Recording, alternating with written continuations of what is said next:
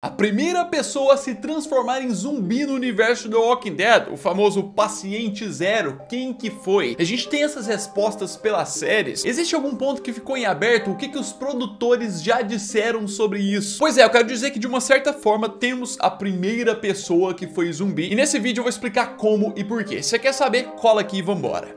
Fala povo bonito que assiste esse canal lindo chamado A Gente Faz Agora, tudo bom com você que tá assistindo? Então eu tô bem demais, espero que você também esteja, né? Eu sou João Victor pra você que não conhece e hoje eu tô de volta pra trazer pra vocês mais um vídeo sobre o universo de Walking Dead, agora pra gente poder falar sobre o Paciente Zero, sobre a primeira pessoa transformada assim, que é uma coisa que muita gente pergunta, né? Já vamos lá, quero avisar que tá chegando a série do Daryl na Europa, que a gente vai analisar todos os episódios, então não deixa de se inscrever no canal, que também quando a gente chegar na marca de 400 mil inscritos, vai ter sorteio de camiseta autografada por atores de The Walking Dead.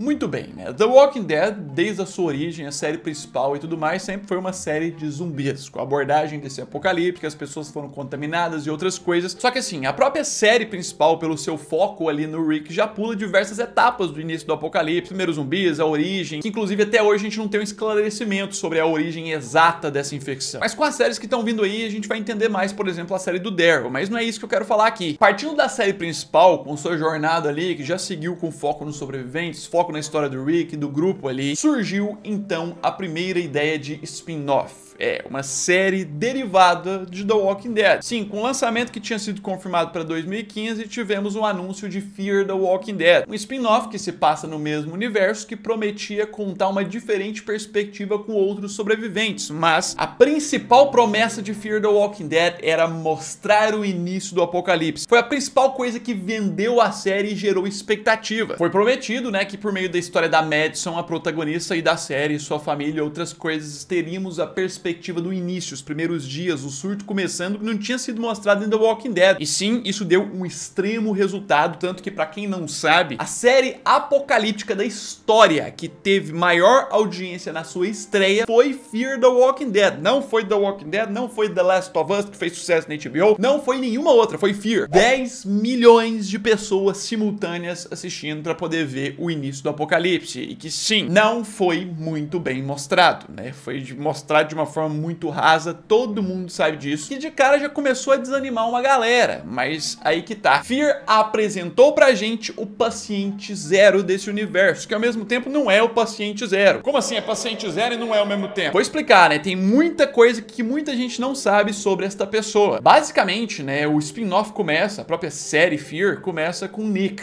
O foco ali no filho da Madison, acordando ali num lugar, ele é dependente de químicos, usava drogas, acordando de uma overdose que ele teve depois e achando muito estranho o lugar, reconhecendo o lugar, escutando barulhos estranhos, procurando a sua namorada, chamada Glória. Muita gente lembra dela, mas tem muita gente que não sabe muito a fundo dessa personagem. Na segunda temporada de Fear, a gente tem um momento de flashback, se eu não me engano, ali no episódio 8, que mostra os momentos do Nick com a Glória antes, né, do início do apocalipse. Pelo que parece, né, o Nick e ela se conheceram na clínica de reabilitação como dependentes ali para poder resolver esse problema. Ela era uma pessoa que incentivava ele muito a ter o reencontro com os pais e outras coisas, a melhorar. E sim, era uma namorada muito próxima. Isso, inclusive, é o rosto dela, né? Sem ser de forma zumbificada, que é o que a maioria das pessoas conhecem por conta do início de Fear. Justamente voltando na situação do primeiro episódio, o Nick, após procurar muito ali sua namorada, depois da loucura que teve, ele encontra ela. Mas encontra ela comendo partes do corpo de uma pessoa. E justamente, como temos foco no rosto dela, ela está zumbificada. E sim, temos uma declaração de showrunner sobre isso, o cara que mandava na série na época, conhecido Dave Erickson, o showrunner de Fear da primeira até a terceira temporada. Pois é, após né, os acontecimentos iniciais ali, tivemos um programa que é o Talking Dead, que sempre tem o pessoal que participou das séries, dando entrevistas ali, e Dave Erickson confirmou que Glória é a paciente zero de The Walking Dead, só que com as seguintes palavras: ela foi o primeiro infectado e ponto final. Sim, mas é aí que a gente encontra um problema, que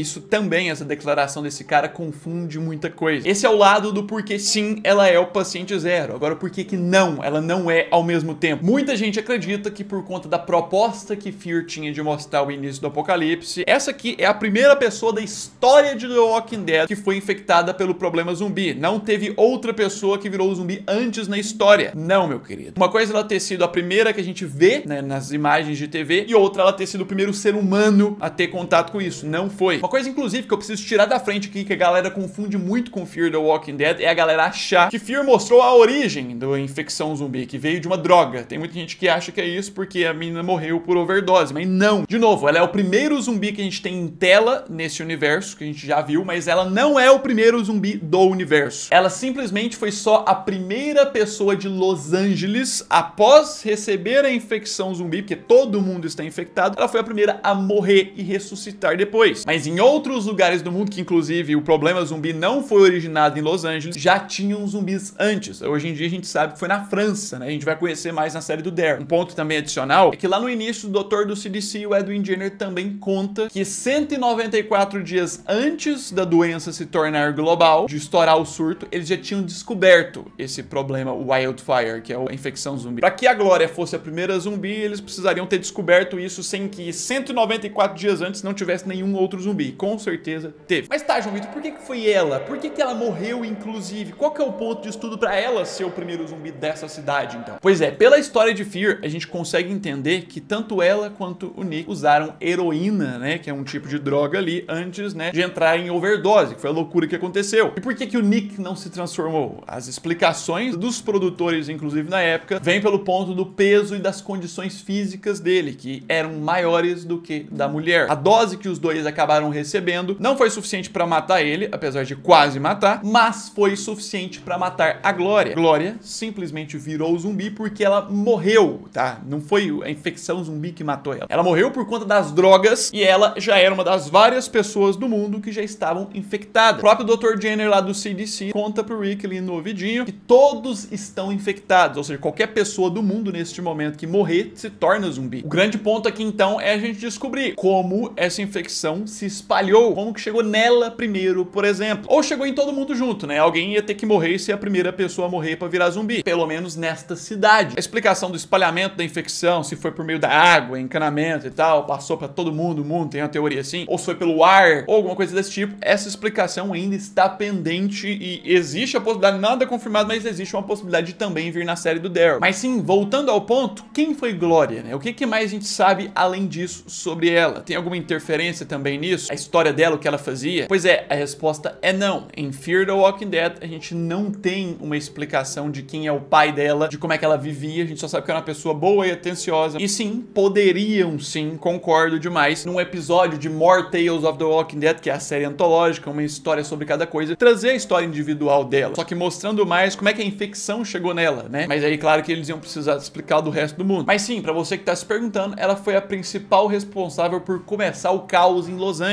né? Não espalhar a infecção zumbi, porque todo mundo já tinha, mas começar a fazer com que as pessoas morressem e tivesse mais zumbis na rua. Depois disso, foi uma somatória de horas para que a cidade de Los Angeles começasse a cair. Sim, pelo que a gente vê em Fear, pouquíssimos dias para que não tivesse mais nada, né? Para que inclusive o exército fosse obrigado a executar a última fase da Operação Cobalt lá, né? Que é a fase de contingência, que é atacar bomba em tudo, bombardearam Los Angeles. Como eu já expliquei muito no vídeo sobre essa própria Operação Cobalt, que eu não fiz tem muito tempo. Se você não viu, procure aqui no canal. É um vídeo bem explicativo do passo a passo e tudo mais. E sim, esse é o Paciente Zero, apesar de não ser a primeira zumbi da história. Coloque nos comentários o que, que você tem curiosidade de saber a mais sobre isso. Você acha que eles devem contar sobre como a infecção espalhou, por meio do que? Foi água, foi ar? Como que você acha que espalhou de fato? Escreva aí. Não esquece de deixar esse like também se você gostou, ajuda muito mesmo na divulgação. Não custa nada você clicar. E claro, se inscreva aí, ativa o sininho para você não perder nenhuma análise. Tá chegando a série do No mais é isso aí, um abraço,